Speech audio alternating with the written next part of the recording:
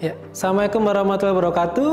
Selamat pagi. Perkenalkan nama saya Hendy Santosa. Saya berasal dari Universitas Bengkulu dengan bidang keahlian Teknik Elektro. Eh, pada perumusan masalah kami mengangkat eh, dua permasalahan utama. Yang pertama yaitu radar hujan sentanu yang saat ini ada mungkin bisa dilihat dari gambar ini itu menggunakan antena farm beam.